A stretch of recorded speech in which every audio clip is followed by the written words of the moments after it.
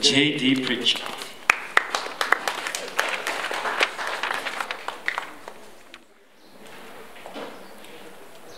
Um, my full names are Joseph Sangasanga. As you've heard, my stage name is J.D. Preacher, and this is titled Beauty and the Beast.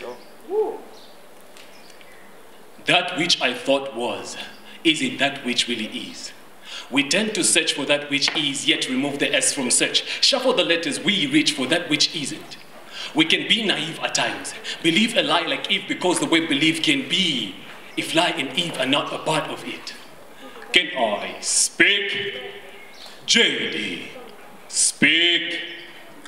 A, B, C, D, E, A, C, G, Jesus, T, D, J, K, M, M. Letters are raw information, called data.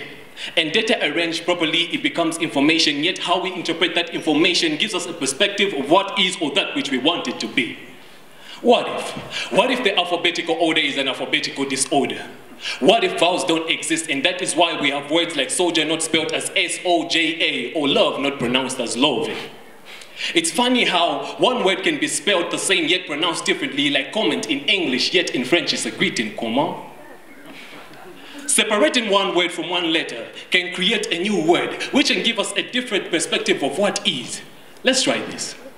R-E-A-D, read, which is also red. Remove the A from red, it is red. I mean my hands are red from the mistakes I made.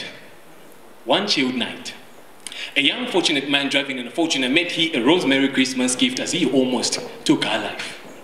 This distorted young lady, trying to wait for her Prince Charming to save her from her singleness, flashed, smiled as she saw death flash itself before her very own eyes and said, It is better to die than I miss Miss Duckett than kuwepa mapili. Play for Mr. Pili to rocket me. I mean, rocket me into space for I want to find a place in his heart.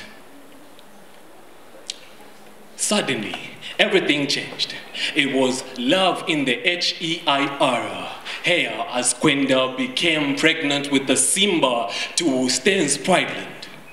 Tired and tired of being love bombed and tired of being love bombed and being a guilty trap, she realized that beauty got married to a beast and that, that she screamed saying, You are a monster.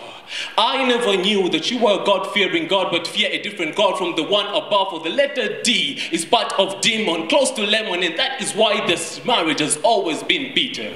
I understand why. We always got D's for our low grades, for that's what makes you a devil. Without it, you are just evil. Spell that backwards, that's life, and hence I felt alive in your lies, like the Grinch.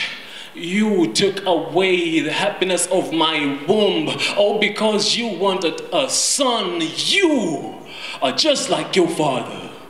And those words that hit him so hard bring out that angry beast in him and it was a knockout as Gwenda hit the edge of the fridge and suddenly the blood spilled all over the ground like spilled paint and a heartbeat slowly slowed down.